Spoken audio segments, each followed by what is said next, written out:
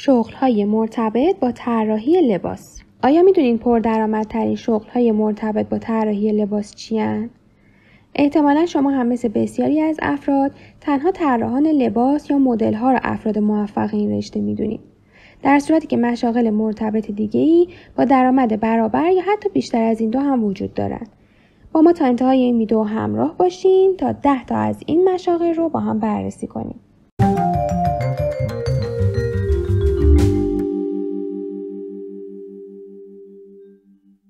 سلام. به کانال مدلادن خوش اومدید اگر از این ویدیو خوشتون اومد حتما لایکش کنید و برای دیدن ویدیوهای بیشتر به کانال یوتیوبمون subscribe کنید استایلیست. استایلیست ها مسئول ساخت استایل یا ظاهر هستند در واقع استایلیست تصمیم می‌گیره که یک مدل فرد یا مانکن پشت ویترین چه چیزهایی رو باید بپوشه یا حتی چطوری بپوشه. از جمله وظایف اون انتخاب مدل لباس رنگ مدل مو، مدل ناخون و اکسسوری طبق ترندهای روز و با توجه به استایل و فرم بدن فرده. دستیار فروش دستیاران فروش در دنیای مد و لباس وظیفه برقراری نظم و انسجام در یک فروشگاه و راضی نگه داشتن مشتریان رو دارند. اونا موظفن تا مطمئن شن همه چیز در یک department store یا بوتیک به خوبی پیش میره و مشتریان کالاهای مورد نیازشون رو بدون دغدغه پیدا می‌کنن. در این شغل باید به بازاریابی مسلط باشین چرا که با بالا رفتن درصد فروش حقوق شما هم افزایش پیدا می‌کنه. ژورنالیست اگر شما به مطالعه در زمینه مد و فشن علاقه و از طرفی هم دستی در نوشتن دارین یکی از بهترین گزینه ها ژورنالیست مده ژورنالیست ها از یک بلاگ شخصی ساده گرفته تا editor مجله مثل Vogue نقش کلیدی و مهمی در این صنعت ایفا می‌کنند اگر editor Vogue روی یک collection از برند دیور نقد منفی بنویسه نه تنها تمام collection رو با شکست روبرو کرده بلکه حتی می‌تونه منجر به اخراج شدن طراح اون برند هم بشه. اونا همیشه در ردیف اول catwalk ا هستن و برای طراحان و فروشندگان بسیار با ارزش و حیاتی محسوب میشن. دستیار شخصی دستیار شخصی سلبریتی ها و editor ها بودن شغل دیگه در صنعت مد و فشنه که علاوه بر درآمد بالا استراب بسیار زیادی رو هم به همراه داره شما باید 24 ساعت هفت روز هفته در دسترس باشین تا تمام نیازهای کارفرمای خودتون رو از رزرو کردن پرواز تا انجام خرید لباس رو برآورده کنید. باید همه جا همراهش باشین و تقریبا در هر زمینه ای مهارت لازم رو داشته باشین. تکنسیان پوشاک اگر فرد جزینگری هستین این شغل برای شما مناسبه. تکنسیان پوشاک وظیفه داره تا پروسه تولید لباس رو از ابتدا تا انتها تحت نظر بگیره و در صورت بروز هر گونه خطا در این روند سریعا اون رو متوجه بشه و برطرف کنه.